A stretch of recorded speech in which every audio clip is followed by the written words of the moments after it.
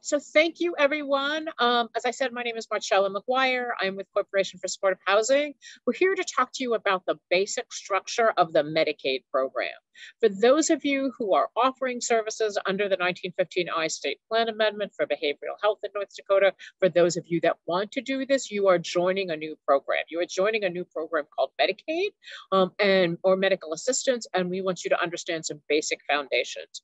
We're not going to talk in detail about the 1915 I State Plan Amendment and the services there. A lot of that is going to come in the Medicaid Academy, which I believe is starting on August 3rd. Um, you should have received uh, provider readiness assessments from Eva Lerner or Ambrosia Crump from our team. Take a look at that. They're asking you questions. If you've got any questions about those assessments, please bring them to today's Q&A as well. We've got the next two hours here, basically to go through some really fundamentals of the program, but then also to answer questions about all of that. And I'm grateful that we've got Monica and any of the other folks from the state here because every state program is different. Um, and there are a lot of questions maybe that haven't been answered yet or haven't been asked yet. Um, and we really need the state's vision and guidance here because they're they're the authority here. So welcome everybody. We're here to talk to you about Medicaid 101, the basic structure there. So next slide, please.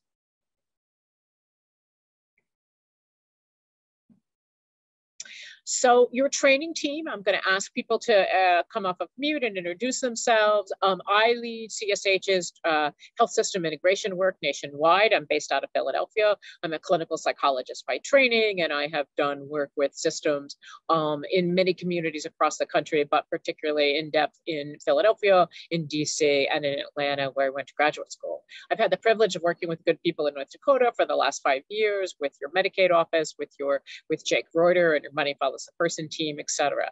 Um, and uh, we did a Medicaid Academy that was focused on housing support services only for housing providers in 2021.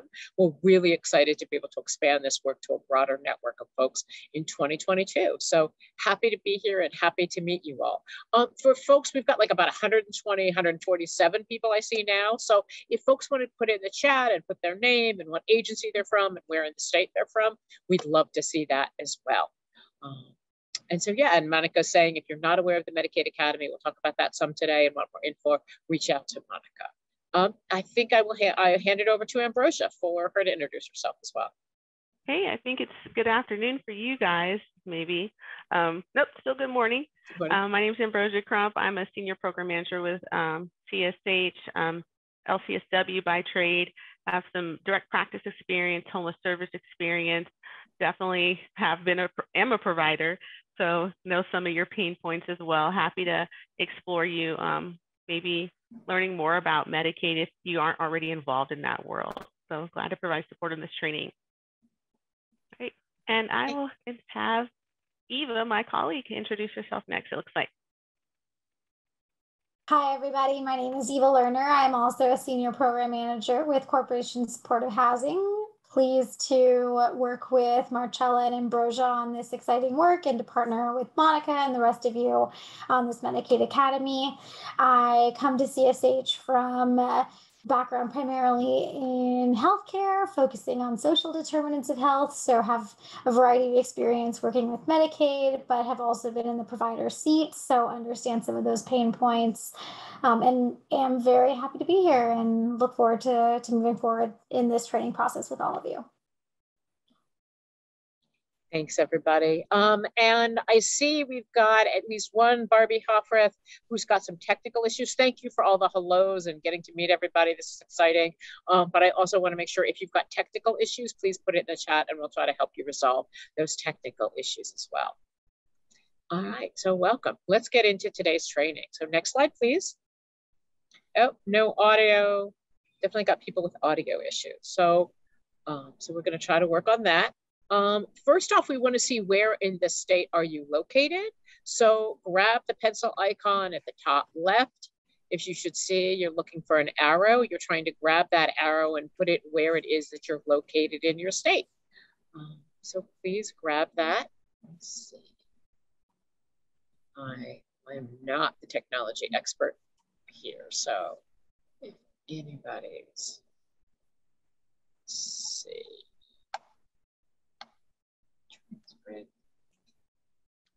we see the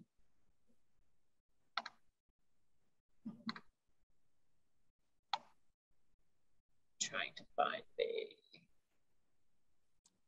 I don't see the pencil icon. I don't see the pencil icon either, Lisa, and I'm trying to figure that out myself. How did we lose that? Oh. Anybody know any of the Zoom experts here? Of which I'm a Medicaid expert. I am so not a Zoom expert.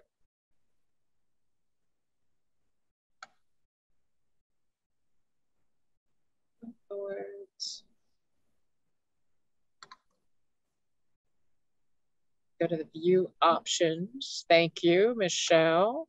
View options at the top, annotate.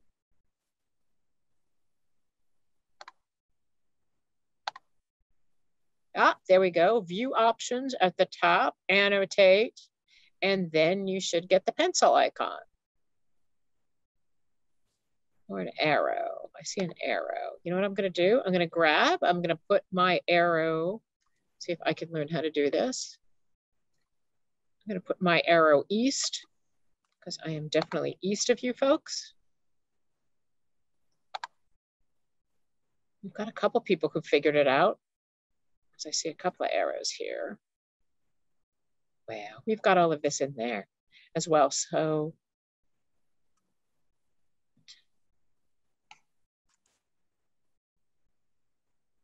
Fargo. We've got people from Fargo, people from Rolla. All right. Click on the arrow. It's not working for me either. Bismarck. All right, we've got people from all across the state. It sounds like we've got some real concentrations in the Bismarck and the Fargo areas. I think that's probably not here of us, but let's let's check this out. And we've got a couple people who figured it out, so congratulations. Um, yeah.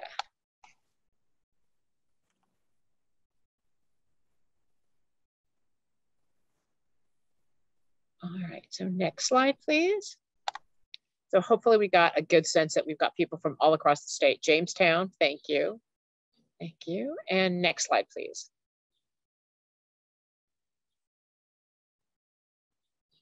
All right, so the final, nope, there we go. So the final word on all things North Dakota Medicaid is your North Dakota Department of Human Services. We've got a link here. Yes, people will not just get the recordings, they will also get the slides. There's a lot of necessary links in the slides, etc.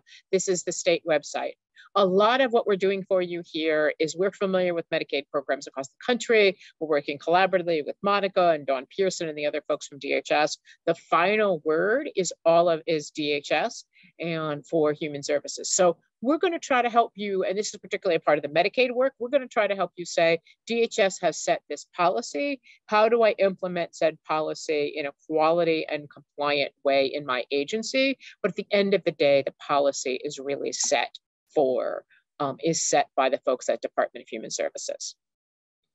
So yeah, any questions there?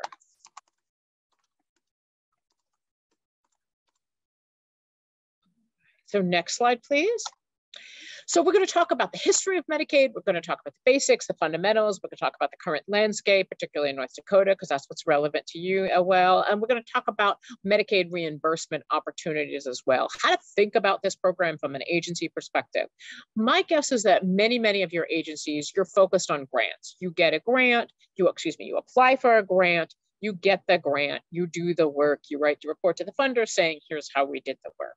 Medicaid operates very differently. Medicaid operates in what's called a retrospective payment model. That means that you sign up to be a Medicaid provider you, your agency signs up for people to be a Medicaid provider. People sign up and get signed up for Medicaid and they as individuals, and then you deliver the services and then you get paid.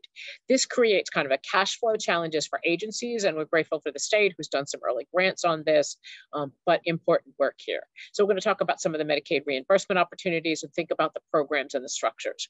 There's a lot of new language here. There's a lot of words. I will tell you as somebody who's done this work over decades, I am always learning something new. You cannot expect that you're going to get it all right away. You can expect that you're going to get a little bit right away and you're going to get a little more tomorrow and a little more the day after that. So please be patient with yourself, be kind, be thoughtful, um, and build your network in this space because there are lots of people who get lots of different pieces of this. This is not, somebody said this on my last call, this is a marathon, not a sprint. Um, prepare yourself and, and prepare yourself for that marathon. So next slide, please. So want to ask a poll. Um, you know, since we had such trouble with the pieces here I want to make sure that um, folks put in this chat. Are you tracking for the people that you serve? Are you tracking who's eligible for insurance, who is Medicaid enrolled, meaning the state of North Dakota recognizes them as a Medicaid recipient, who's insured, who's not, and are you tracking if the person has traditional Medicaid or they are Medicaid expansion? That's going to be really important because people who have traditional Medicaid, you're billing the state directly, and we'll talk about that process. And if people have Medicaid expansion, then as of January 1st, you're billing Blue Cross Blue Shield. So if you are going to start to work with the Medicaid program, you're going to have to start tracking who among the people you serve are enrolled are they insured or not? Are they insured by Medicaid? Are they insured by Medicare? And are they traditional Medicaid or ex Medicaid expansion?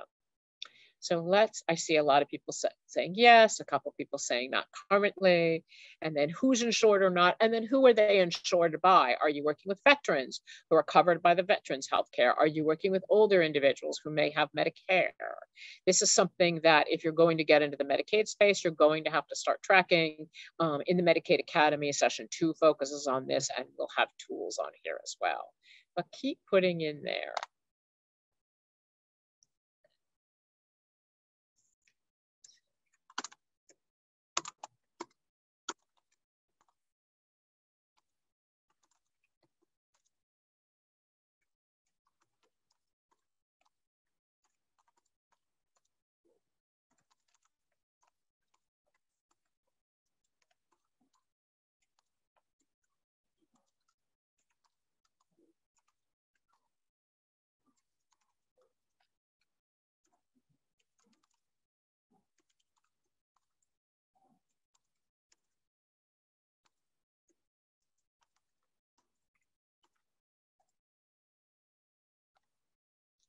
So Becky knows who's insured, traditional and expansion. Again, a couple people not, people currently. Um, if you don't know the answer to this question, that's also a good thing to start thinking about within your agency. So yeah, serving justice in populations, this is not tracked for them in that time. Lisa, you bring up a really good point about justice involved populations. When an individual is incarcerated, they are no longer eligible. When an individual is released to the community, they are therefore eligible, but they may or may not be enrolled. There's particular work that has to work to get them enrolled. Um, Yes, Paulette's not tracking, you're waiting to be an approved provider. You don't have to wait to be an approved provider before you can track. That's a choice you're making. You can still track, you can still ask people, have you been to the human services zones? Are you Medicaid enrolled, etc. You know what, let me take just two seconds as part of the training to get some of our tools on this. I will say, um, I'll, I'll put the eligibility tracker up here. If you're part of the Medicaid Academy, you will get it there. But if somebody wants to run with it now, that's awesome. So we'll give you the eligibility tracker now.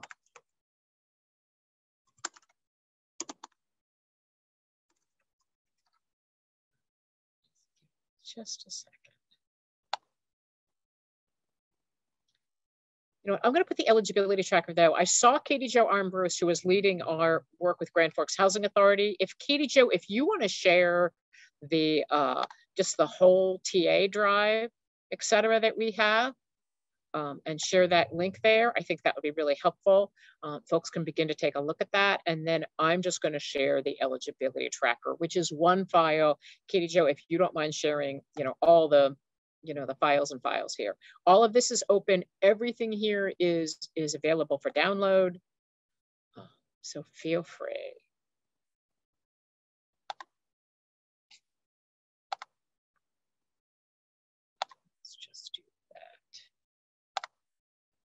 Thank you.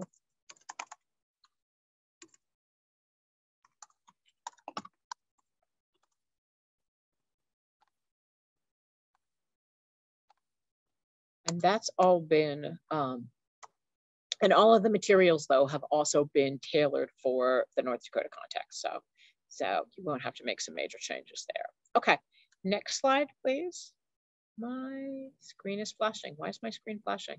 Eek. Hope my screen stops flashing. Happened to anybody else. Next slide, please.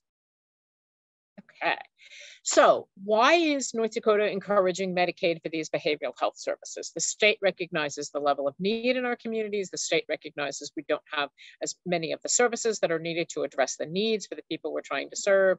The potential for scale is with Medicaid. Medicaid is what's called an entitlement program. And what that means is that if you can prove that you qualify for the services and need the services, then the state is required to deliver those services to you. The state has networks of providers like yourselves that are all part of this, but Medicaid is really the only program that gives us a potential for scale. States also really like Medicaid because of what's called federal financial participation. For most Medicaid programs, there's a lot of nuances here, but at the end of the day, if the state pays for a program, the state puts a dollar into the program, the program has a dollar. If the state puts a dollar into a Medicaid program, the state has $2 because the federal government puts in a dollar as well. So a Medicaid is called a state and federal partnership because half of the funding comes from the feds, half of the funding comes from the states, generally speaking. There are exceptions, there are exceptions to everything in Medicaid. So get used to that. But there's a fiscal, federal fiscal financial participation that really makes this good fiscal sense for states. Um, we are seeing increasing needs of service participants in our communities. We are seeing people who are finding challenges to, to connect to regular services. We're seeing more severe needs. We're seeing more illness. We're seeing more complicated illnesses, et cetera. Um, and we really want to make sure that those services can actually get to those people and get to those participants. All of that, those high level clinical skills are things that are really much more easily facilitated within Medicaid. States are shifting away from institutional care, nursing homes, big state hospitals to home and community based care. All the surveys of individuals with disabilities, people who need services say, would you rather get your services in an institution? Would you rather be in a community? Would you rather be with your family? Would you rather have your own place and your own independent living or be in these group home settings, et cetera? People generally speaking, they all want to be in a more independent community based settings. So it follows the messages that we're hearing from people with lived experience. And then finally, the state is shifting away from funding general fund dollars to braided funding models incorporating with federal dollars. Much of this braiding of funding happens at the state level. You just see the money comes from the state. Know that the federal dollar is already braided in there. Know how important Medicaid is to that process. I will also say this clearly from the start Medicaid has a greater administrative burden than many um, I was going to say, then and many other programs, certainly it's more administratively burdensome than grant programs. It's the only thing that gives us potential for scale. And it's also often kind of a steep initial climb, a challenging climb. But once you get it and you have your systems in place, and we're going to be helping you set up those systems, then you get it and it all flows freely. So there is a lot of potential. That first step is often the toughest, but I promise you, you will get there. So there's a question I just got in the chat from Chris. Are justice involved individuals who are in the community participating in residential reentry program and are inmate status eligible? Um, I don't know the answer to that. I think you would need to, unless Monica or Jennifer or any other of the state officials have an answer to that one. Um, we can we can look that up and check, but I think that's a really important question. Um, because you say inmate status, if generally speaking, if they're living in the community, they're Medicaid eligible, but you have to do the work to get them enrolled. But inmate status makes me question that. Monica, do we know? You know, as long as they're not residing in the institutional setting, which would be the correctional facility, and they're in the community, that they would meet the home and community based settings rule. So they would be eligible for 1915I. Um, and Daniel asked another question is the distinction between parolee and a probationer. Um, parolee or probationer doesn't matter. What matters is what Monica said. Are they living in the community in a, in a, in a community-based setting? So are they, um, are they living in an environment that they or their family, et cetera, are paying for? Um, or they could be on a housing subsidy, they could be in a they could be in a program, etc. They can't be living in a place where the state has responsibility for what has responsibility for what's called room and board. Court ordered inpatient treatment doesn't matter. Again, it's where are they living and does the state have responsibility for room and board? Inpatient treatment, generally speaking, they are Medicaid enrolled. Generally speaking, the inpatient treatment provider has done the work to get them Medicaid enrolled because otherwise the inpatient treatment provider is not going to get paid. Um, but that's something that you want to check. Once you become a provider, you're going to have access to that system where you can do that checking. Um, but um, even before that, the individual can do the checking for themselves. You can support that so you can begin to track that. Um, so Lisa's saying there's variation in how the zones, counties have interpreted eligibility for people living in settings that are alternative to incarcerations. This is an area of growth in North Dakota for sure. Yep, absolutely. Um, I wonder, uh, again, Monica, I'm sorry to keep picking on you, but um, or if there's anybody else from the state, I'm really looking for a state um, it might be helpful for the state to offer guidance on this clarity question just because there's so much engagement on this right away. Yes, absolutely, Lisa. That's a great point. Um, there is a lot of variation in how the zones determine that. Um, it's a very gray area because the home and community based settings rule is very, very complicated. Um, you know, we tend to look at each individual case by case. We do have, um, you know, an assessment of the of the setting that they'll be living in that, that is kind of an initial assessment and then we have you know an enhanced scrutiny assessments as well to determine if they do meet that home and community-based settings rule. Um, the best we can do for right now, um, you know, we're working on some more permanent solutions is just to kind of look at each case one by one and make that determination um, whether or not they meet that, that criteria. I also want, oh, sorry. Oh, I was going to say we ideally what we want is a list, like an an um, all-encompassing list of different um, different settings, and a yes or no. But we're certainly not there yet. Yep. Yeah, absolutely. And I also want to make a, a point. Monica's talking about the home and community-based settings rule. This is about the 1915 I services. I'm talking particular about general Medicaid enrollment are they eligible for Medicaid? When I'm living in a jail, when I'm living in a state prison, when I'm living in a state hospital, I am not eligible for Medicaid enrollment. When I am living in any kind of community setting, I have my own apartment, I'm living with my family, I'm living in a group home, I'm living in any other setting. Generally speaking, you should be Medicaid eligible and therefore being enrolled, though obviously the zones, we're gonna talk about this a little bit, the human services zones have been the people who do the Medicaid enrollment. If they interpret it as, oh, you're living in a group home setting, group home settings aren't eligible, that's gonna be a problem. They're the people you've gotta get through. So yeah, Monica tends to live in the 1915 I world. I'm about to too, Monica. I've gotta remind myself this you know, for this one, we are talking just about Medicaid in general. If you are working with people who are low income, you want them to be Medicaid enrolled. You want them to make sure because otherwise, any service they get, if they go to a hospital, if they go to a primary care doctor, if they go to an ER, if they're not Medicaid enrolled, somebody's going to be coming after that person for that payment. You want to make sure they are Medicaid enrolled enrolled for 1915 I services is a separate, really important question. But if you are not Medicaid enrolled, you are eligible for very, very little. So we're just going to focus here just for this session on Medicaid enrollment in particular. Um, and as I said, in session two of the Medicaid Academy, we'll get to 1915 I enrollment. So next slide, please.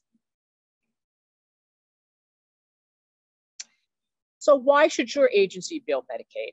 Why should you go through all of the administrative burdens and challenges are here? Why is everybody here for this conversation? Well, one, there's greater needs in our community. There's greater behavioral health needs. There's greater homelessness needs. There's greater child related needs. There's greater family needs. And the state, as they look to expand services and address those needs, is going to look to Medicaid before they look to anything else. Because again, Medicaid brings down that federal dollar. The state can put a dollar in to do any kind of the social services good work that needs to be done. But if they bring down a Medicaid dollar, they match it with a federal dollar, and now they put $2 in instead of one. So that's where the state's going to be looking at to address community needs. It's much more fiscally sustainable for your services models basically we'll talk about this in terms of you know no one goes into social services or this kind of work in order to in order to get rich but we all do need to pay our own bills etc so we need to be doing some business thinking about if you're leading an agency you need to be thinking about you know the business models the fiscal sustainability models to make sure that you can keep your doors open that you can keep doing that work your participant service needs are growing. The people that you normally work with have more needs, complex needs. They're maybe not just aging, but they're also experiencing behavioral health issues. Maybe they're experiencing homelessness and housing instability. You've got families with complex needs in child welfare, a family member in incarceration, all of these different things coming together. You need to be interacting with all of these other systems in order to holistically address the needs of the family. Um, families come as a unit. Um, individuals come with integrated needs. They don't think about, oh, the federal money for healthcare comes here and the federal money for housing comes there and behavioral health. They just know they need help and they need people who can address those needs. So a lot of this is being integrated in towards Medicaid. Again, to the point I just made in the examples I just gave, when you're doing Medicaid, you can bring in more specialized and more intensive services to people with a higher level of need. Far too often, agencies that often just do grants, they can they can reach sort of one level of need. They can't reach those higher level of needs. They don't have the funding, they don't have the staff, they don't have the complexity um, and those clinical qualifications of the staff, et cetera. So to address more specialized needs, you're going to need to think about billing Medicaid. So that's why we're teaching you some of these fundamentals about Medicaid. Um, so again, you're trying to address community needs, you're trying to make sure you're keeping the doors open, et cetera, um, and you're trying to address growing service participants and family related needs. Next slide, please. So let's talk about Medicaid, medical assistance. Medicaid is about to, end of the month, We'll celebrate its 57th birthday. Um, I was born about three weeks before Medicaid. That's how I can keep this track of this. Um, it was authorized under Section 9 of the Social Security Act of 1965. It started as health insurance for pregnant and parenting women and children. Um, it's a counterpart for Medicare. Medicare covers people who are 62 and older, um, any American um, she is getting Medicare. Uh, Medicaid is for people with extremely low income, and it's evolved over the last 50 plus years. I will say that also, there are individuals who are qualified for Medicare because they are older. They qualify for Medicaid because they are extremely low income or disabilities. These are people who are called dual eligibles. You may be serving some of those as well, and we'll talk about that program as part of the day. So at the end of the day, it is health insurance coverage. It is not any specific service um, it is the coverage for those services. So it is payment for services so that people can access the services. Each state has its own, I think I'll talk about this later, state Medicaid plan. It says these are the services that we are offering. Um, and these are the services. So state makes choices about what services are offered. Uh, North Dakota in the last two to three years has made a significant expansion in their behavioral health services through what we'll talk about as the 1915 I services. Um, and the federal government also set some floors for, in order to have a Medicaid program, you have to offer these services. So it's been around for 57 years. It's very different state by state, and it's a constantly evolving, very complex model. Um, if somebody tells you they know everything about the Medicaid program, um, um, look at them a little askance. It's a really big, complicated program. Next slide, please. So as we said, it's a federal and state partnership. The federal government says, hey, these are the guardrails, these are the requirements, these are the minimums. The state says, okay, here's how we want to operationalize that. DHS, Department of Human Services in North Dakota, is your state Medicaid office. There's significant flexibility there. Each state's required to have a state Medicaid plan that outlines how Medicaid works in that state, what services are covered, what services are covered for what populations, et cetera. Um, and CSH in 2016 did what's called a Medicaid crosswalk, examining that state plan from at least from a housing angle. Um, we're happy to share that as well. But 16's been a while. So one, the 1915 I services aren't there. They came in in 19 or 20, I can't remember um, off the top of my head right now. Um, so, but it's a federal state partnership. Partly why this is important to you is you like in any program when you're getting funding, you want to know like, okay, who sets the rules? And the answer in Medicaid, as in many things with Medicaid, is it's complicated. Uh, DHS sets many of the rules. Some of those rules DHS has to set in collaboration with the feds. Sometimes DHS wants to change something and they go have to go back and say, you know, think about with the 1915 I, there was a disability score, it had to be a 50, then they increased it to 25. DHS couldn't do that on their own. They had to go back to the feds and say, hey, we're finding this out. So there is a constant dialogue. It's so important that Monica and Jennifer and other folks are here and that you've got that conversation and dialogue with the feds, I'm sorry, with your state folks to say, here's what's working, here's what's not. There's a constant ability to tweak the program depending upon how widespread um, the challenges you see are. So complicated federal state partnership, DHS is your local leader. Next slide, please. So who oversees Medicaid funding? Well, at the federal level, it's what's called the Center for Medicaid and Medicare Services, or CMS um, within your state, it's within DHS, your medical services division. Um, if a person is Medicaid eligible solely because of low income, they fall into what we call the expansion population.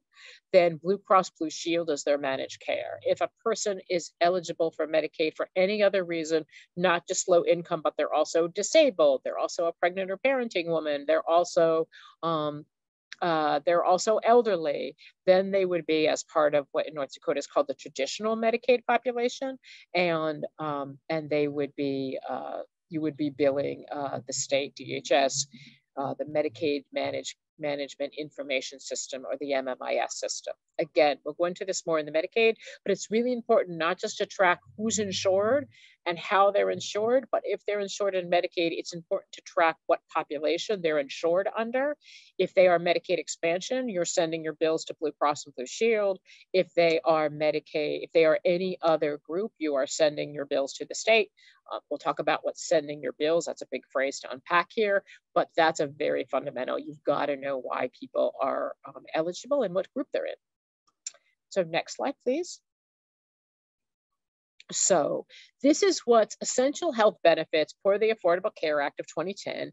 These are the basics. This is the federal government says, if you don't cover these services, then you don't have a Medicaid program with us. We're not going to put in our dollar uh, if you don't have these essential health benefits.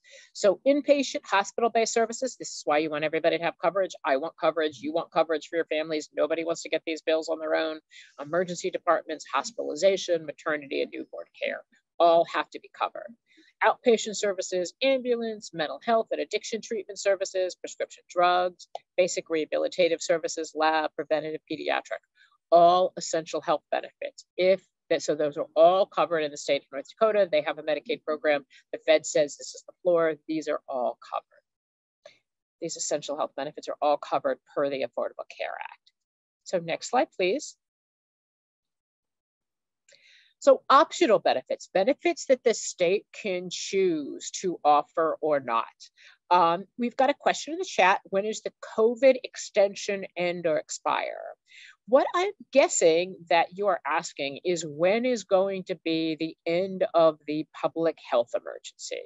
Um, Medicaid, I will tell you one of my favorite things about Medicaid is that they have these magic phrases. You have to use the exact words um, in order to understand what you're really asking. So I'm going to answer the question, um, Mr. or Mrs. Head Start, I, I, don't see a name there, um, is asking, I think you're asking, and if you're asking a different question, help, help me out here. Um, the public health emergency one of the requirements of the CARES Act of 2020. Hi, Tara, thank you. Um, so mm-hmm. one of the requirements was, let me say, in January of 2020, because of COVID, the Secretary of Health and Human Services um, declared a public health emergency. We are still in that public health emergency. The CARES Act of 20 of March of 2020 said that as long as we are in a public health emergency, states cannot um, kick anyone off of their Medicaid program. They can get new people on who now qualify. I used to, you know, I wasn't pregnant before, but now I am. So now I qualify. I wasn't low income before, but now I am. So now I qualify. But everybody, it was all come in. It was nobody was getting kicked off of the program uh, because of the public health emergency we should hear sometime in the next week or two if the Biden administration is choosing to extend the public health emergency beyond, let me see, it was July, three months. Um, we should hear in the next couple of weeks whether it's, I'm doing math in my head, which is a very slow process, forgive me, um, which is um, when they will end it. The Biden administration has promised the states, the states will get, and everybody else will, everybody else will know it too if you read the paper, um, will get 60 days notice. So sometime next week, I believe it's the 16th. 16th and the 17th, you should see some interesting headlines either that say the Biden administration has decided to end the public health emergency. The public health emergency will end mid-September, or you will see headlines that says the Biden administration hasn't done anything, it hasn't said anything, which means in mid-September, they're committing to 90 days out, extend the public health emergency. The states when the public health emergency ends, and they're already working on this, has to do an enormous amount of work to requalify everybody in the Medicaid program. So if I'm on Medicaid because my income's low and I have a disability, if I'm on Medicaid because my income's low and I'm pregnant or parenting, I, why ever I'm on Medicaid, they have to reconfirm that. This is an enormous amount of work for the states. It's an enormous amount of work for the zones. Um, and we will see that. And you also, and the state will be uh, sending information, often by snail mail, to the people you work with, saying, in order to keep your Medicaid on, do these two to three things show up to this office, keep this appointment, bring all your documents. We know that a lot of people can't manage that and master that. And so we've got to be helping them to make sure that they maintain what in the Medicaid space is called continuous coverage, meaning somebody's Medicaid coverage doesn't fall off because the state didn't get a piece of paper they need to verify that the person's low income or the person's still disabled or and the person's still old, any of those kinds of things. Um, you might say, hey, if I was 65 before, I've only aged since then. Of course, I'm still going to be old. Um, but the states can put a lot of things in place to say, oh, but you have to prove to us that you're this again. Um, I don't know what they do, but I have seen states, not North Dakota, but I have seen states require you kind of come back with your birth certificate again and say, hey, look, I'm still old. Um, so know that that is a real challenge there and that's going to be really important. So the end of the public health emergency and depending upon, we'll cover this in the Medicaid Academy as well, uh, because we will see what happens on July 16th. I'm guessing on that date. I've been away for a little while, so I'm not sure But that is the end of the public health emergency.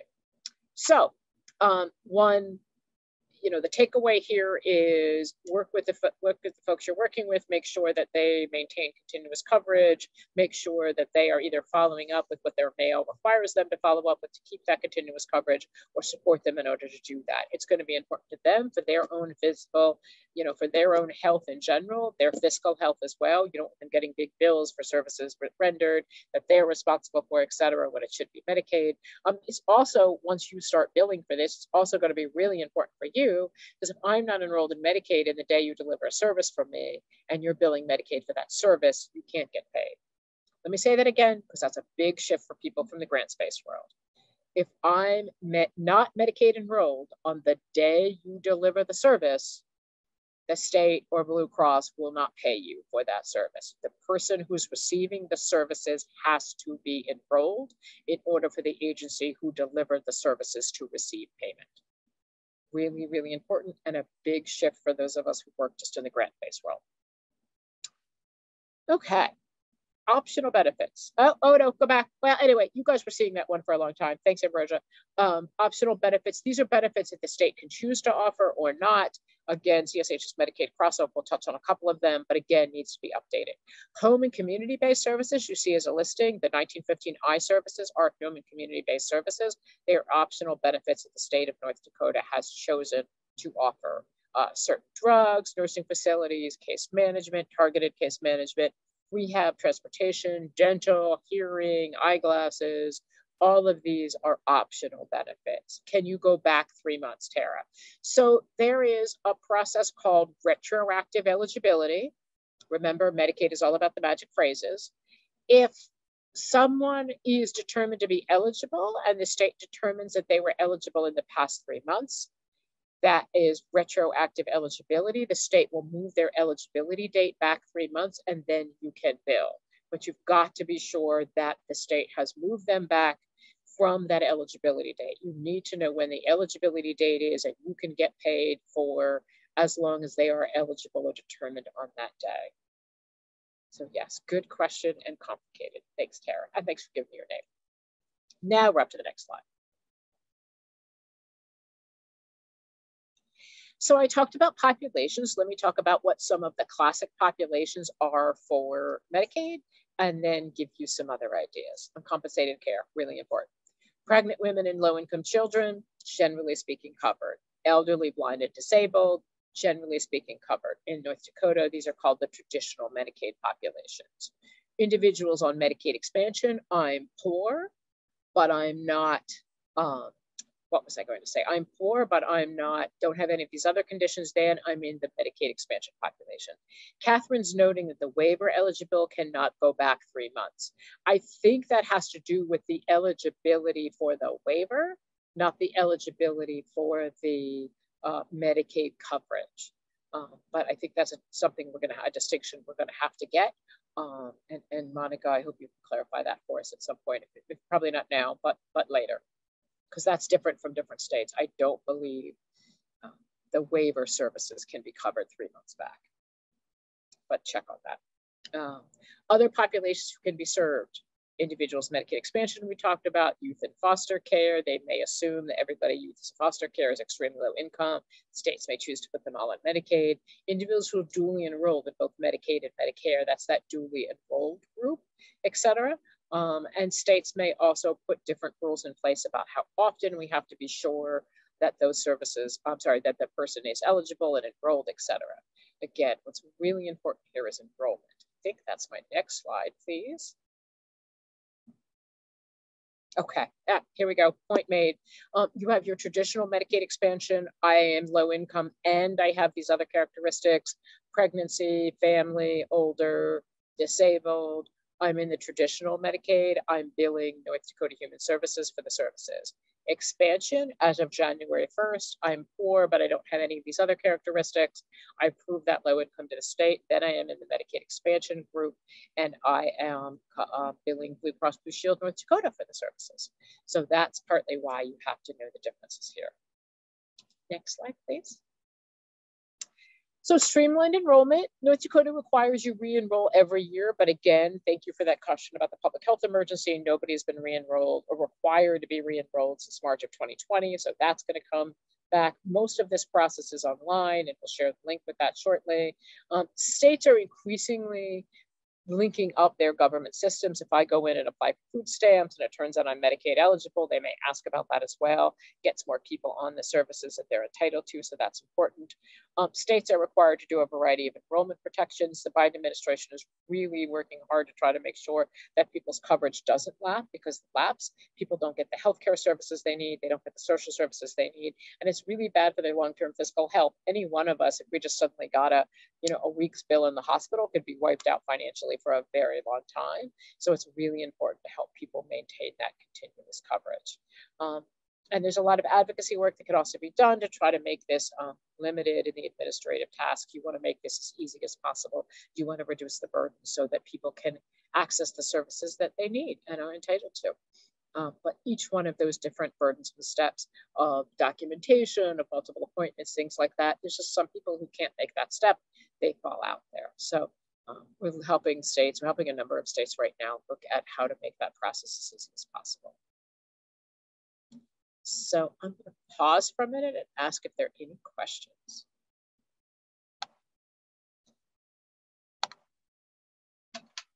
And you guys are doing great jumping into the chat. Any questions? I hope this is helpful. All right, next slide, please. So we are going to talk just a little bit about, because I know the long-term goal is to talk about the, the 1915I services.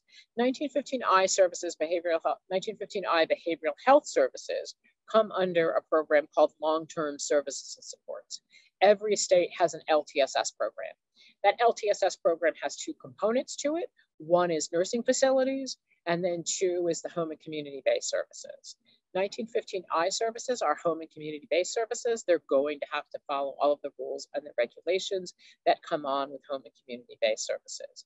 There is a very clear rule within home and community-based services that HCBS services cannot pay for rent, cannot pay for housing, these are community services paying community providers to do that engagement in the community and help people stay in their homes, help people access homes, and then stay in their homes for as long as possible and not need that institutional level care. North Dakota's also smartly made a real investment in their home and community-based services program, and that's a lot of work that we're doing here because they they are, um, I believe they have an Olmstead agreement with the federal government trying to move people out of institutional care. There is a Supreme Court decision, the Olmstead decision, that says that people are entitled to live in a community-based setting that is as integrated as possible. Um, so there's a real push from the state perspective in order to do that. States also like that because if people are in state facilities and institutions, the state's paying the full freight. If the people are living in the community, the person's paying their community living setting, and then they're just paying for the services. So fiscally, it makes sense for the states here. So long-term services supports of which HCBS is a provider. If you're a QSP, we've got a question in the chat. If you're a QSP provider providing nursing services, can you only bill through HCBS or would you be able to bill straight Medicaid if the client has Medicaid? So one, Lori, help me out. I don't know what QSP means. My guess is that's a North Dakota specific. Um, you are billing, again, it's depending, is the person expansion quality service provider? Okay, thank you. So if you are billing, if the person is uh, Medicaid expansion, you're billing Blue Cross. If the person is anything else, you're billing the state. I wonder if that's what you mean by straight Medicaid. Often billing the state for fee for service, that's often what people mean when they say straight Medicaid. So um, if you are delivering nursing, if you are a nursing home, that's one distinction. That's the LTSS nursing facility programs. If you are delivering community nursing services, then you are an HCBS provider and you're following the rules and you're billing, again, Blue Cross Blue Shield for the expansion population, HC, um, the state uh, Medicaid office for everything else. I hope that's answered your question. And if not, please uh, keep chatting in there. Clarify, clarify what parts of your question I missed. So next slide, please.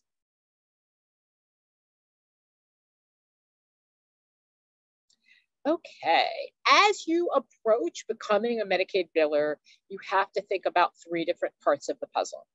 The first part of the puzzle we've talked a little bit about is eligibility and enrollment. Is the people I want to work with, is the population I want to work with able to assist Medicaid eligible? Are they enrolled?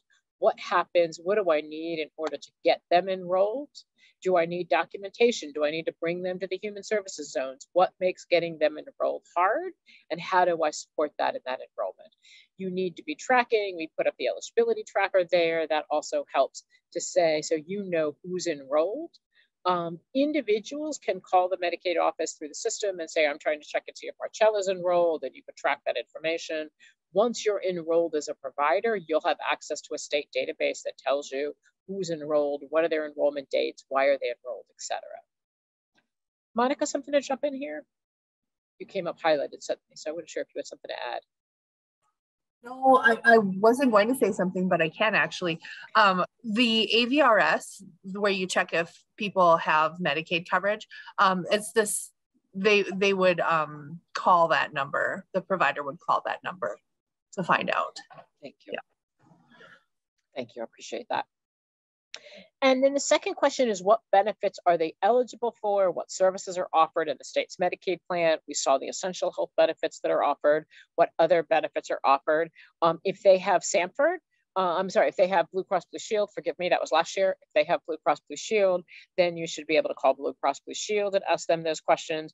If they have the state, then you're working with the human services zones to determine what services, think about what services they need, what disabilities, what challenges, what functional limitations they have, and then think about what services can help them address those needs. And then finally, you have to think about, is my provider enrolled? Is my agency enrolled? I can deliver a service to a person. Monica could deliver a services to me, but if Monica's agency isn't enrolled in Medicaid, then Monica's agency can't bill Medicaid.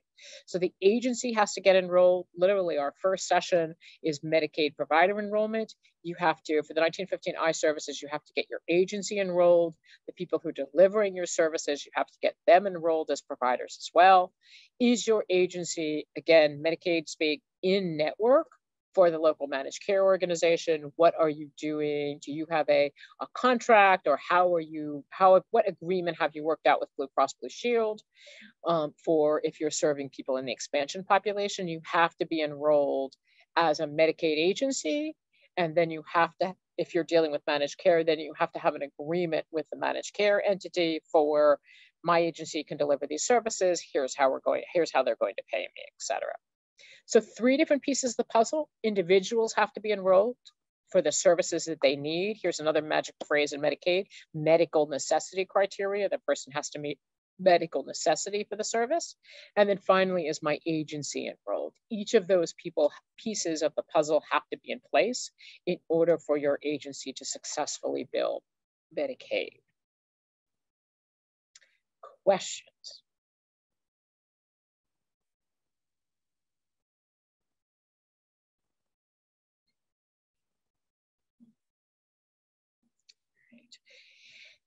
Folks put in the chat if your agency is already enrolled in Medicaid, what services are you enrolled in Medicaid in your state to provide?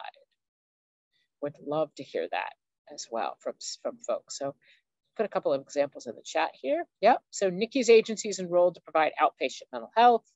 Tiffany's is enrolled to provide the 1915I services. That's great. Though Tiffany, I will also say, you bring this up. This is a good point you may not be enrolled for all of the, I believe there are 12 or 13 different 1915I services. You may be enrolled just for say care coordination and, you know, housing supports. You may be enrolled for other things. So Rhonda's agency is enrolled in billing for mental health and children. Becky and this, you guys are Prairie Harvest is enrolled for TCM, 1915I care coordination and rehab. So this is all uh, possibilities. Can you talk about tobacco cessation counseling coverage, about the billing? What standing orders are needed. I can't, um, I don't know whether that's a separate service. I don't recall that as being part of the I service. Um, community options is enrolled in each service. Tiffany, thank you for that. You're right. Monica, um, I don't know who about tobacco cessation, and I don't know whether that's a Medicaid service or that's a grant service. I'm not sure if that's a Medicaid service or not. Um, I, it's certainly not part of the 1915I. Um, but I I don't even know where I would find that out. I know our our behavioral health division works with. Um, no, I don't know that the Department of Department of Health has a tobacco cessation program, but I don't know that that's Medicaid. Or yeah, it may be a grant program. Yeah. Um, yeah. That makes sense. Got enrollment for residential treatment for substance use services. Community options is enrolled in every service. I didn't know you were community options. Thank you, Tiffany.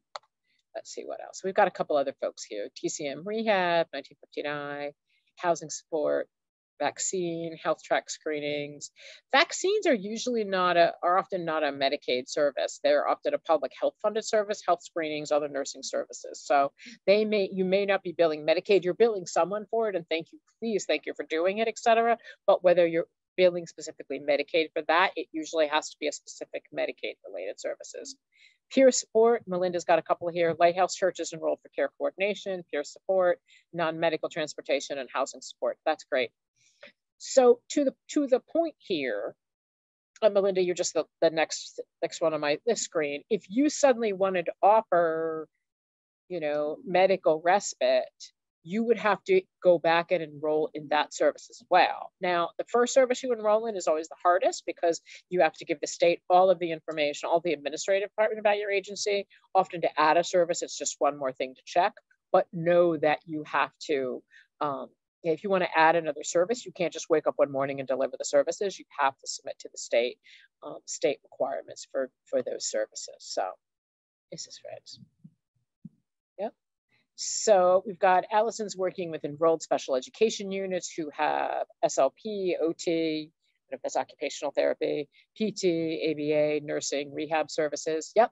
And the question is, are they billing through the schools for that? Are they billing through Medicaid? These are some of the questions. Uh, OT, ABA, rehab services. I don't know about nursing. All can be could be billed in Medicaid as long as that's covered in your state's Medicaid plan. So yes, home care. And then we've got some folks who are not enrolled, hospital outpatient, inpatient, swing beds. Oh, I haven't heard that term in a long time. Swing beds. Yep. All right.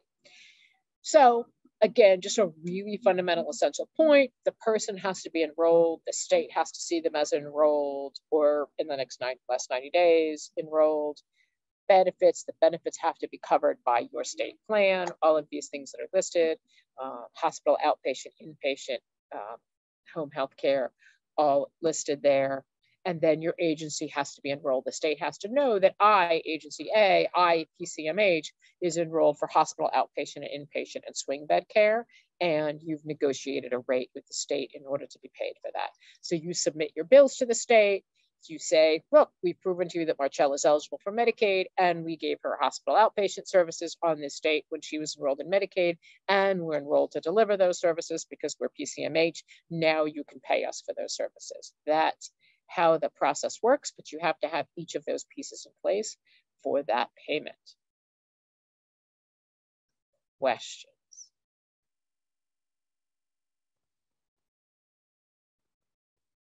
All right, next slide.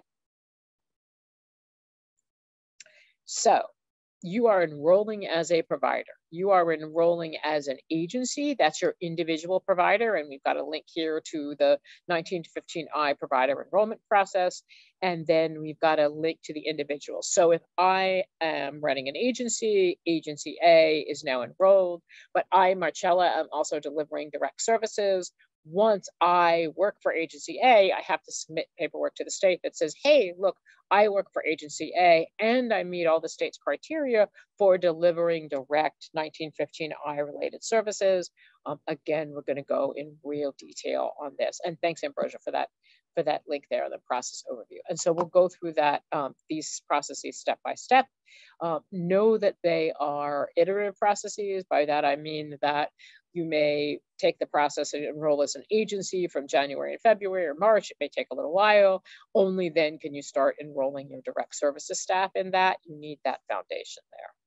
Um, so think about those different processes and make sure you've got staff who are identified or taking all of your individual direct services staff, administrative staff usually, that are helping them through that process. Only when they are enrolled as an individual and your agency is enrolled are you going to be able to bill for that. So next slide, please. So here we talked about eligibility versus enrolled. Um, some services are for children, some services are not. You have to be enrolled in Medicaid, as we said. Enrollment in Medicaid is at or below 150% of the federal poverty level. You have to have a qualifying behavioral health diagnosis. We can share those with you. And you have to have a WHODAS score, World Health Organization Disability Assessment Scale of 25 or higher. Uh, what I've heard from the housing support providers is 50 was too high a number on the WHODAS for, but 25 is really in good shape. Uh, we will also, our second session on Medicaid eligibility will, I'm sorry, on the Medicaid Academy will cover participant enrollment eligibility. So we'll take you through a list of what all of those qualifying diagnoses are. Um, I think we already had a link to the state plan amendment and they're also all listed there. But they are the majority of uh, serious and persistent mental illness, behavioral health diagnoses, um, uh, but a very comprehensive list of diagnoses are required. It's important to know that the 1915I services are just for people with behavioral health diagnoses. I'm using behavioral health as an umbrella term to encompass both mental health and substance use services and people who have co-occurring disorders, et cetera. That's who's listed under behavioral health. If you think the person you're working with meets these requirements, then you can enroll them by completing the state form 741 and submitting that to the human services zones. Um, so there is Medicaid eligibility, and then there is Medicaid enrollment. And then once you are enrolled in Medicaid, then you are possibly eligible for the 1915I services. For the people you're working with are eligible for the I services. And they also have to go through a separate enrollment process to be part of the 1915 I services. If you think folks meet other requirements there. Okay, next slide, please. These are separate processes that are worked on with the zones. So how do you get to Medicaid eligibility determinations? Well, this is the link here for what Monica was talking about, the AVRS system for people. Providers can't use these sites until you're Medicaid enrolled providers. Um, there's a link to talk about who's eligible for Medicaid expansion. The individual, though, can use these systems and find out whether they're enrolled and share that information with you. You can help people apply for enrollment online at the website listed here. Um, as we said, persons who are 150, above 150% of the federal poverty level may be categorically eligible for Medicaid, but they won't be eligible for the I.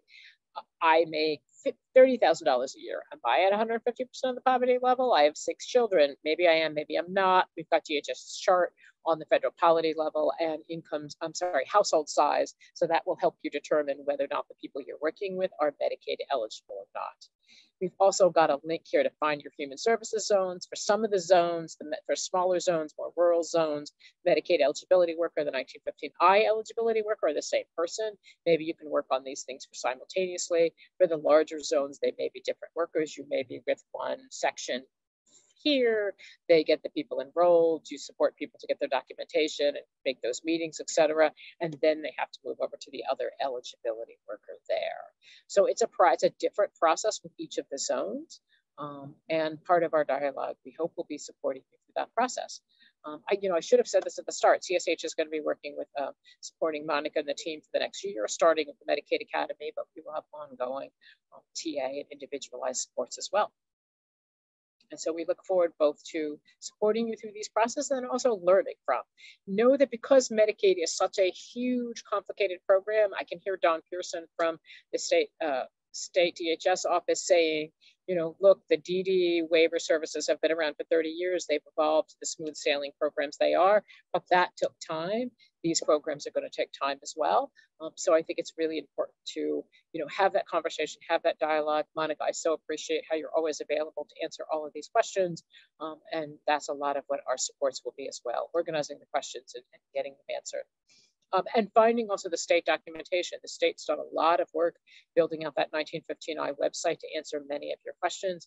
Um, we'll be sending you there to answer many of them because it really doesn't matter what we say, it matters what the state says, um, and sending you to that. But then also, if there are questions that haven't come up or the state hasn't thought about it, become relevant in who you're serving, let's keep that dialogue going and, and build that as well. So we may have new answers, new policies, new eligibilities we need to think about too. So so next slide, please. Got to make sure people are Medicaid eligible and enrolled. Um, and then also know as a provider, you enroll, you enroll as a provider, you help the people enroll, you develop a person-centered plan development, you do service delivery, redetermination for services and coverage.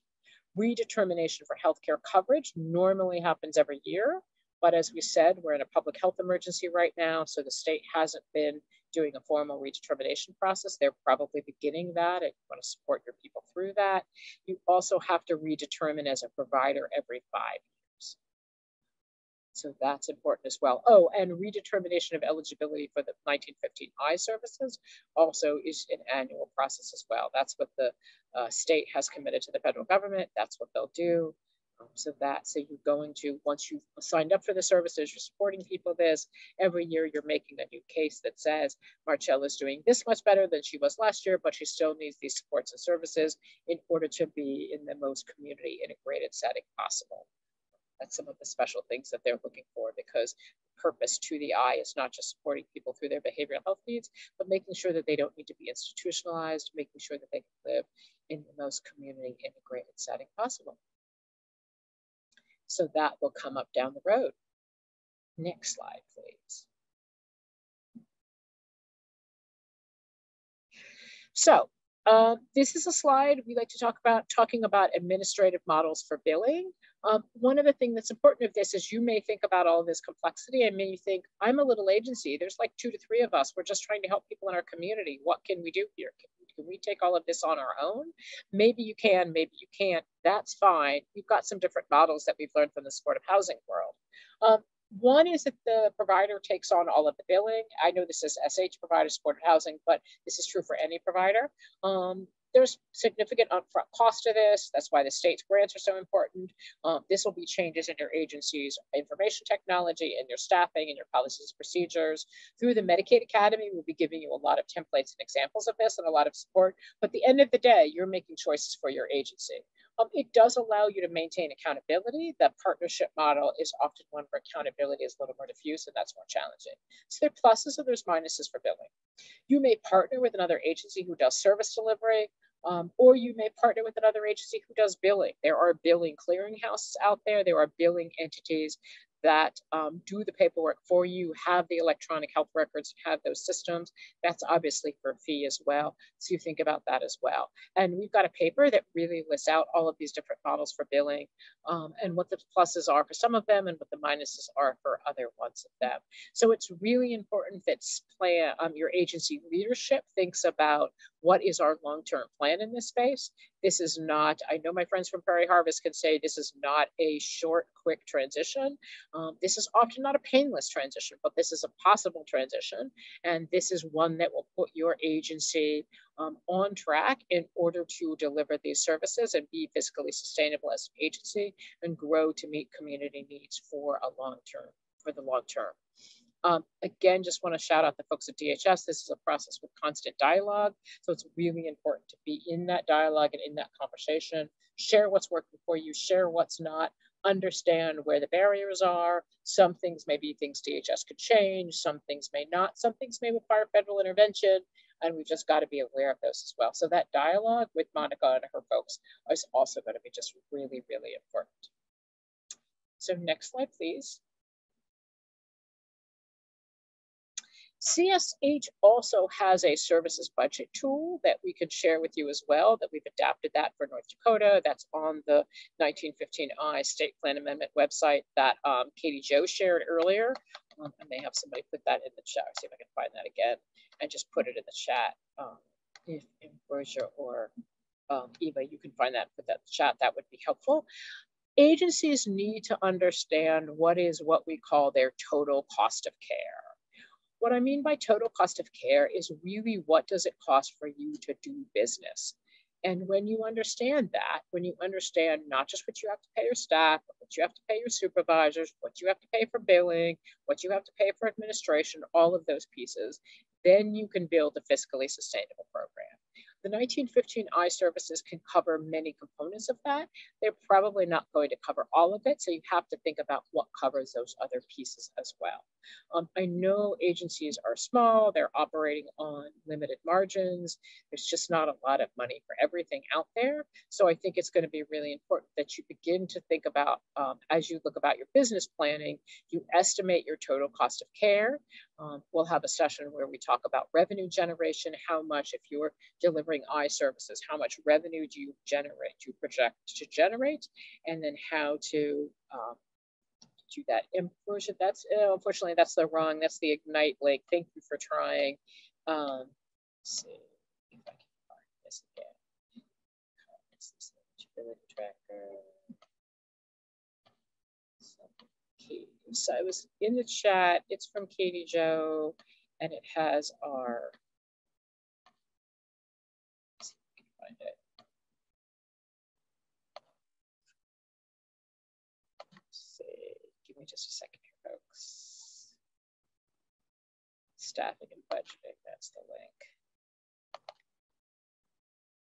There we go. Okay. I got it. I'll put it in.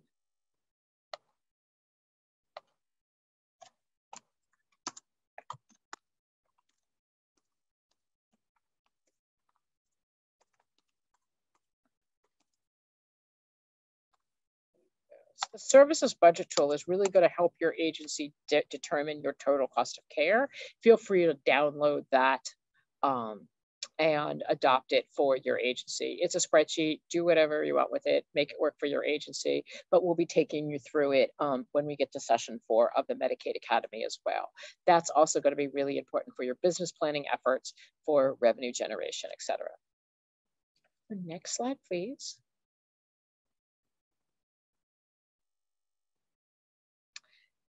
Billing partnerships. Okay, you've decided you want to deliver the services, you've decided you don't want to take on the billing, you've decided you want to go to that third administrative model of billing. Who do I talk to? Who's already billing and who already, already has the infrastructure to bill? Um, you could talk to your community health centers and say whether they're willing to support you in that billing process for a fee, of course. Um, they may be serving um, site there. Uh, behavioral health clinics, um, is they partners? If you're not a behavioral health clinic, you may already have billing infrastructure. Can you support some of these other community agencies and have them bill through you?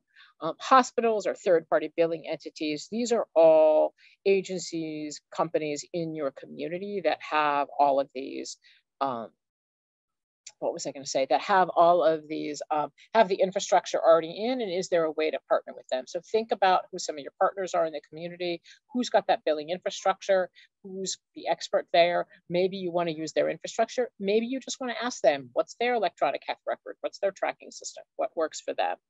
Um, Lisa's getting a can't be reached error site for the Google Drive. Um, Lisa, give us your email, and if, if Eva or Ambrosia, one of you can get that, and we'll make sure that you get that, and we'll we'll try to fix what's what's wrong there. I'm not sure about why you would get.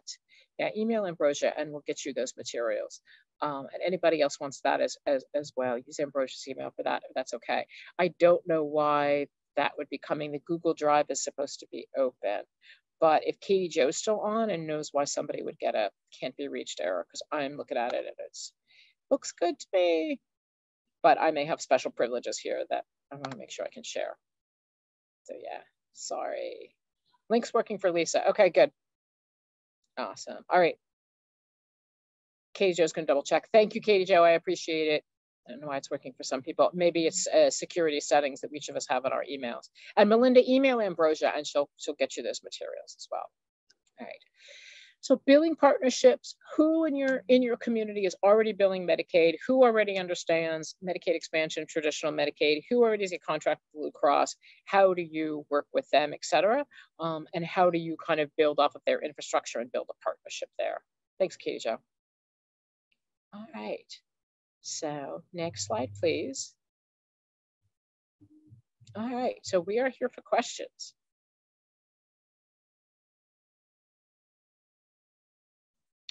So does, Chris is asking a good question. Does eligibility criteria exist which speaks to agency board governance requirements? Agency board governance requirements will come in in the Medicaid provider enrollment process when you enroll as a provider. Specifically, the state will ask you for all your board member names, their affiliations, their social security numbers they will want to be sure that anybody who is on your board is not on a federal list, OIG, what to stand for, Office of the Inspector General, that says that they cannot be involved in a Medicaid program because they have been convicted of Medicaid fraud or abuse. Give me two seconds and I will look up that, how to search the OIG website.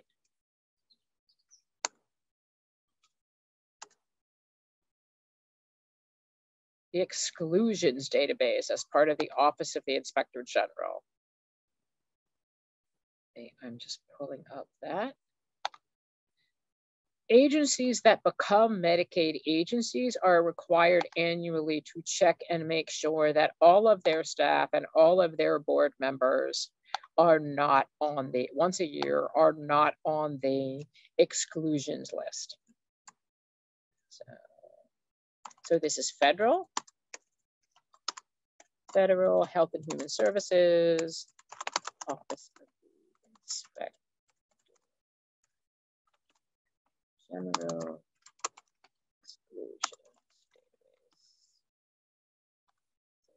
You will also need a, we didn't talk about this here, we're gonna talk about it um, in the provider enrollment, your agency should also be working on, if you want to do these services, you should also be working on getting a, I thought I had a slide on this, national provider identifier number.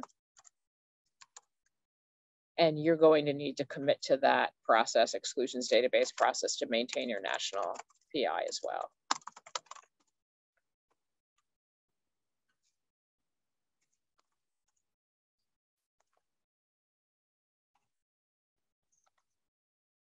And the information for getting your NPI is usually pretty basic. You need a W-9 for your agency, you need your tax ID, um, you need basic administrative pieces there.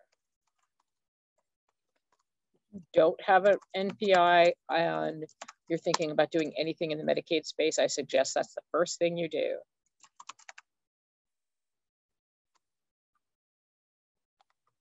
Let's get this in place.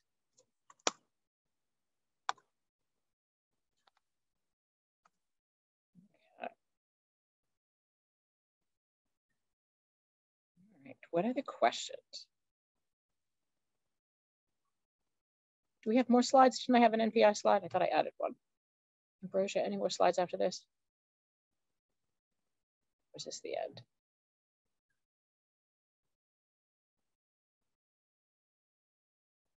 All right, so I think this is this is the end. What I will say is that, um, what was I going to say? Um,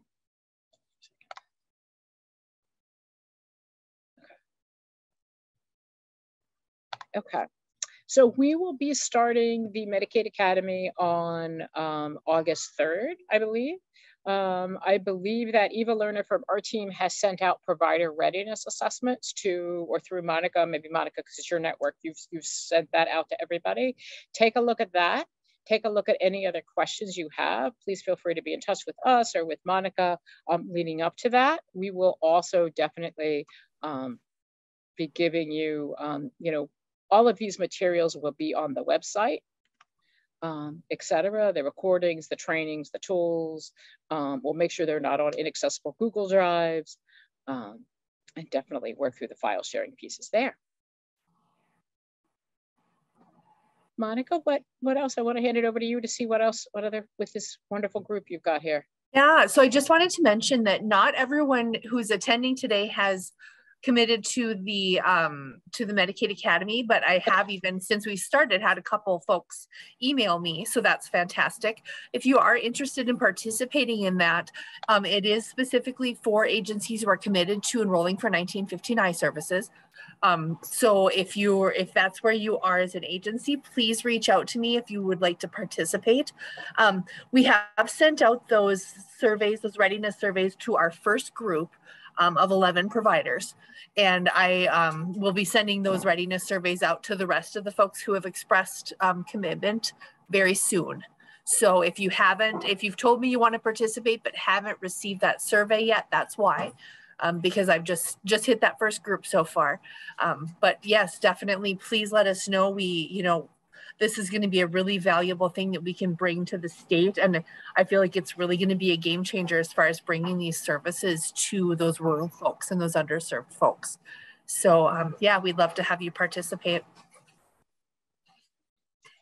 Um, and also somebody is also asking, one of the slides had a, Eva, I don't know if you've got the slide deck, if you can grab the AVRS uh, login, it's on one of the, the link for the AVRS system. Stephanie was asking for this.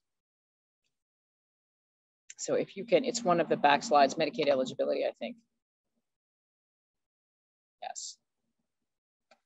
Okay, so I see that there's some, the, the readiness assessment tool. Um, you can send that to Ambrosia. And yeah, if you want to send it to me as well, that's great. Um, I know Eva's going to be out for a while on, on leave. Um, so she asked to get those sent to Ambrosia. Thank you. Thank um, you. Yeah, I'm just looking. There was another question here for me. Um, yes, um, Tanya did sign up for the Medicaid Academy. Yep. From, from Native. And uh, Megan, you can, if you want to send me an email, it's, um, I'll drop my email in the chat here um, and let me know that you're interested in participating in that training. That would be awesome. Indeed.go. Here we go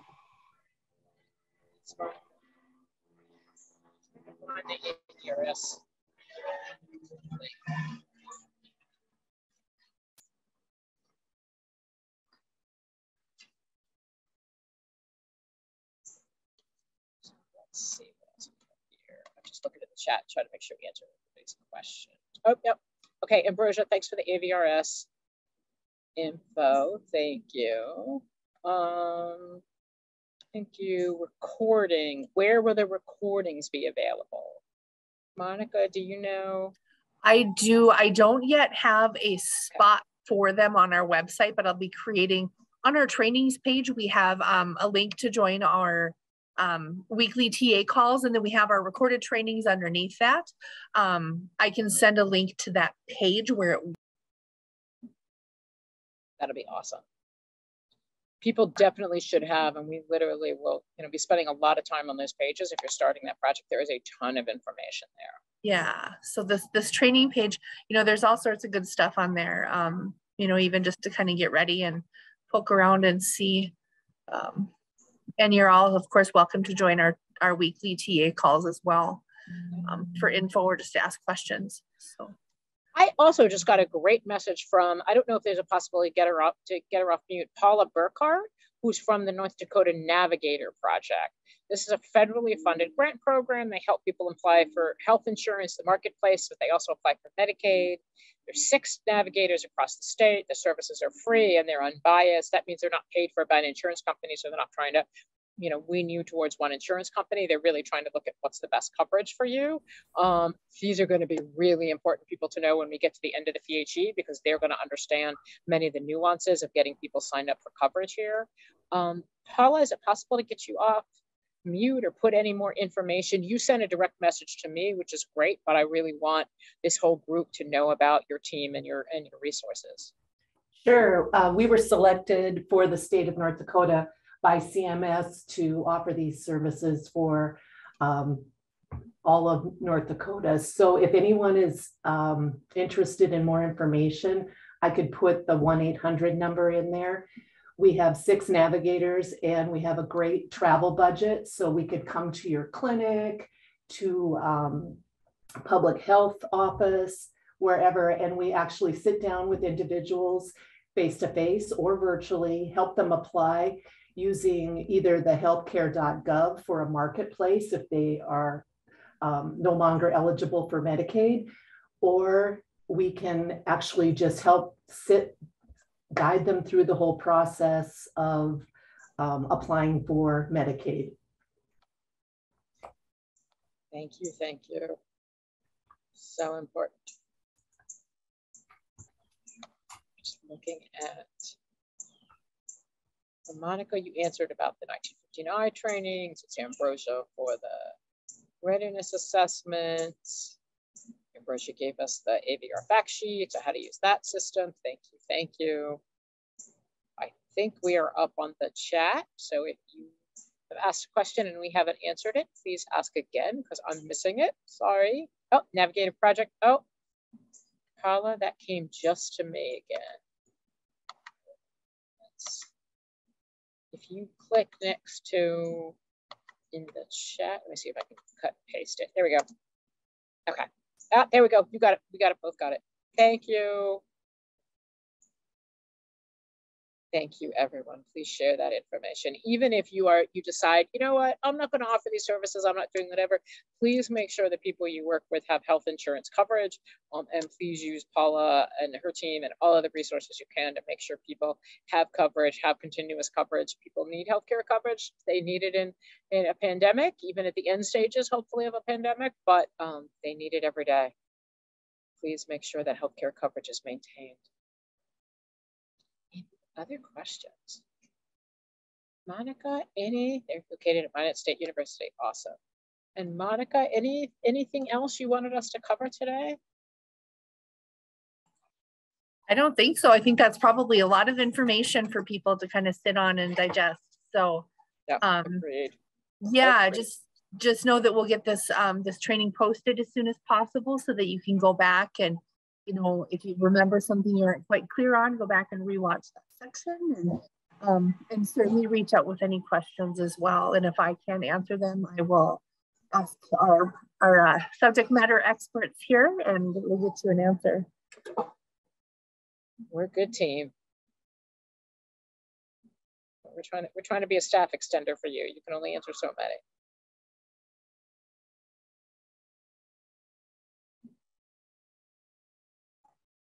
All right, we're going to stay on. That's today's training.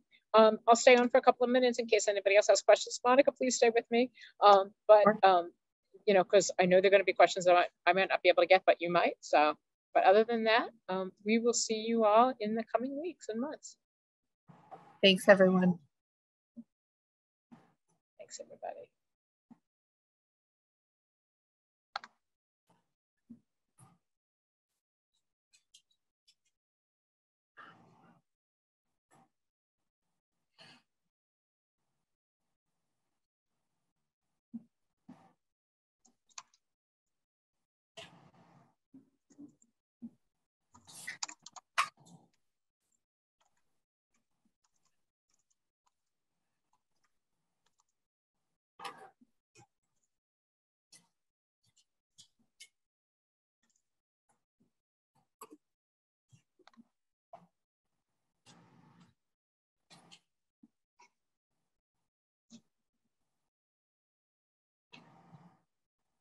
See people. Monica, I see, you know, the numbers are going down, so people are signing Yeah. off.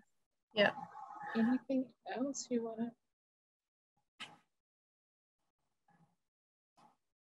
It's exciting to hear about the navigators. That's so helpful. Yeah, that is. We, we do have a lot of good things going on. It's just getting the message out as far as you know everything that we have. That's why I was so, tools for people. yeah, that's why I was excited for this. Yeah, yeah, definitely. I'm really happy with the response that we had to this training today. That was uh, A lot of people on, great. Yeah. And a lot of good engaged questions. Yes, yes, definitely.